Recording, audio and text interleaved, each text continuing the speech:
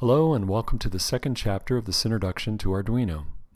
In this chapter, we'll discuss basic concepts of voltage, current, and resistance. We'll present these concepts using water as a metaphor for electricity, which will set us up nicely for more advanced topics like Ohm's law, voltage dividers, and power. This is the second chapter of a 10-part series that has been developed for a local hackerspace here in Tucson. Some of the concepts I'll share today in this and in future chapters came from this Makershed publication by Charles Platt.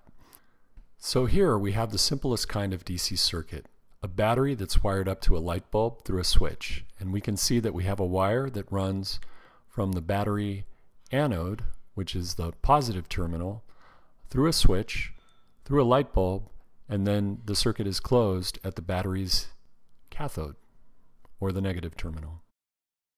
The conventional model of current flow tells us that when we close this switch, electrons from the battery will flow from the anode or positive terminal of the battery through a small filament in the light bulb into the cathode or negative terminal of the battery, also known as the ground. The small filament creates resistance for the flow of electrons and in doing so gets hot. And as that filament heats up, it glows, resulting in light. And now we can start talking about how DC current flow is a lot like water flow. In fact, if we were to draw an analogy to an engineered water system, we could say that batteries are to electricity what pumps are to water. So let's go ahead and replace our battery with the pump. Continuing with our analogy, in an engineered water system, we could say that switches are to electricity what valves are to water. So let's replace our switch with a water valve. And finally, loads like light bulbs in an electrical system are a lot like water wheels in an engineered water system. So let's replace our light bulb with the water wheel. Now that we have this foundation, let's see if we can throw some additional electrical terms into our model. We know that in water systems, pumps produce pressure which helps move water through the system. As such, pressure generated by a pump is what voltage is to a battery. Also, the resulting water flow that's induced by the pressure is what amperage is to an electrical circuit. But what about the water wheel? Well, that wheel is creating resistance to flow, in effect slowing the flow of water down through the system. In this way, a load in an electrical circuit, such as a light bulb, essentially creates resistance to flow, similar to a water wheel in our engineered water system. In electrical systems, we measure this resistance in units of ohms. Here's another way of using water as a metaphor for electricity. If I start with a bucket and fill it with water, and then I take a drill and make a small hole near the bottom of the bucket, there will be water pressure pushing on that hole and that pressure will be proportional to how much water is in the bucket. Another way of thinking about this is the amount of pressure head on that hole. In fact, I can get a feeling for that pressure by putting my hand up against the hole. The water pressure pushing on my hand is the same as voltage in an electrical system. This will be an important concept to remember later on when we talk about input pins on an Arduino.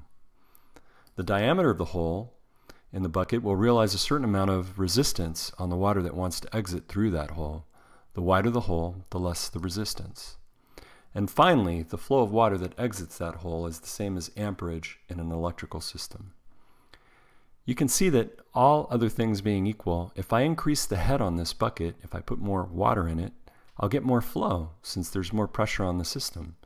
Similarly, if I let the head drop, the flow should slow down as a result of having less pressure on that hole.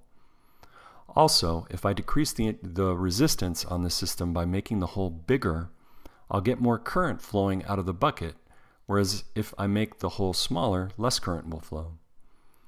This is a good conceptual model for understanding Ohm's law, which we will discuss in a later chapter.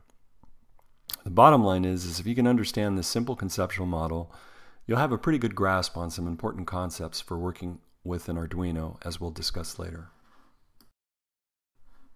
To make things a little more real world, here's an example taken straight from my backyard. Here you can see I have flow, or amps, resulting from pressure or volts, used to supply my hose from a water tank. Here you can also see that I have my load, or a resistor, standing on the sidelines, waiting to insert himself in my conceptual model while I'm not looking. And here he is stepping on my hose, thus diminishing the diameter of the pipe feeding my current.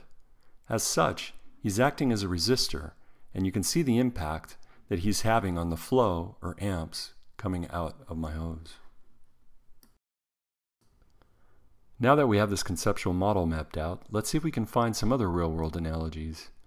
Here we can see the things that can go wrong in engineered water systems resulting from too much water flow, or current, can similarly happen in electrical systems. Just as the stormwater channel in the previous slide failed due to too much water flow, here you can see that this electrical system burned out as a result of conveying too many amps through those tiny electrical traces. And here's an example of how a hydrologist might try to apply these concepts to a watershed. In this case, you can see that this watershed is host to a variety of woody plants that are not very effective at holding back or resisting runoff from a heavy rainfall event. In a watershed, we might try to increase resistance to flow by changing the land cover type to something that's more effective at resisting runoff, in this case, grasses. Similarly, in electrical systems, we might try to protect our tiny electrical traces and components from too much current by adding resistors, kind of like populating a watershed with grasses to slow down the flow of runoff, or in this case, flowing electrons through a circuit board. Well, that sums things up for this chapter. In the next chapter, we'll discuss how to measure volts, current, resistance, and we'll introduce Ohm's law, which is important as it relates to designing circuits that incorporate our Arduino.